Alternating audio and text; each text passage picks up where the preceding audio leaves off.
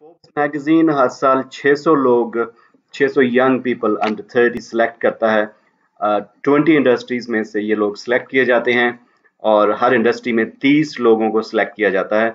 ان کی پرفارمنس کی بنا پہ اور ورلڈ وائڈ یہ سلیکشنز ہوتی ہیں نامینیشنز ہوتی ہیں تھاؤزنڈ اس کے بعد اے لسٹ ججز ہوتے ہیں جو سلیکٹ کرتے ہیں لوگوں کو ان کی پرفارمنس پہ۔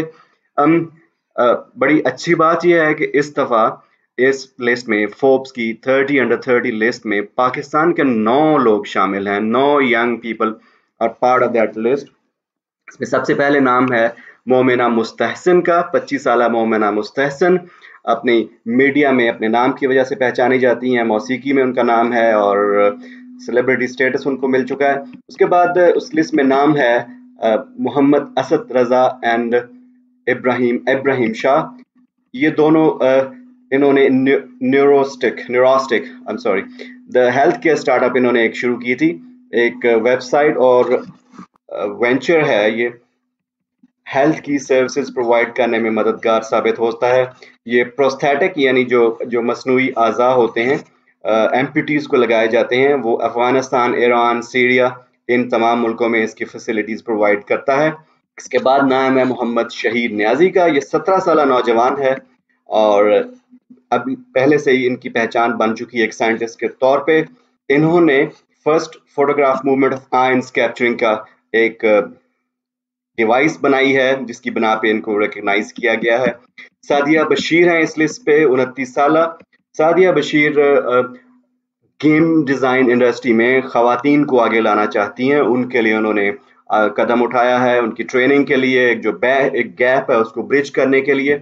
اس سلسلے میں انہوں نے کوشش کی ہے اور ان کی اس کوششوں کو کو ریکگنائز کیا گیا ہے۔ اس لسٹ میں اور پھر دو بھائی ہیں، عدنان شفیع اور عدیل شفیع، اٹھائیس سالہ اور انتیس سالہ۔ انہوں نے پرائس ہوئے کے نام سے ایک price comparison web site electronic کی پرائسز پاکستان میں مختلف سٹیز میں آپ دیکھ سکتے ہیں۔ ان کی ان کی ویب سائٹ پہ پرائس ہوئے پہ۔ تو اس وجہ سے ان کی اس ویب سائٹ کی وجہ سے ان کی کوششوں کو سراہا گیا ریکگنائز کیا گیا۔ Hamza Farrukh twenty four year old یہ ہیں ان کو بھی ریکگنائز کیا گیا ہے۔ انہوں نے کیا کیا؟ انہوں نے جناب سولر پاورڈ پروجیکٹ ہے ان کے پاس کے واٹر سپلائی کا ڈرنکنگ واٹر سپلائی کا، آٹھ تھاؤزینڈ کا ان کا وہ ہے سارا جو انہوں نے ڈیولپ کیا ہے پروجیکٹ آٹھ ہزار ڈالر میں آپ پانچ ہزار لوگوں کو drinking water solar powered apparatus کے تحت آپ دے سکتے ہیں اور اس کی لائف سپین پچیس سال کی ہے۔ پھر نام ہے جناب سید فیضان حسین کا تیئیس سالہ ہیں۔